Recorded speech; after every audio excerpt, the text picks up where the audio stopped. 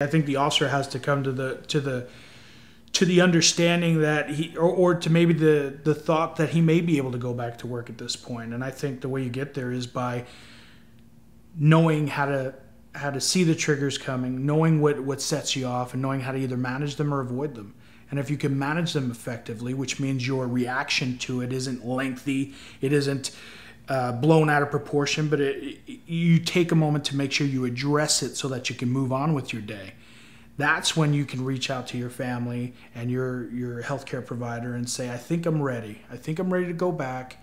This is why.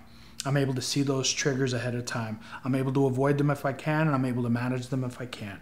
And when I can do that effectively, I'm a lot healthier and I can deal with other people in a better way.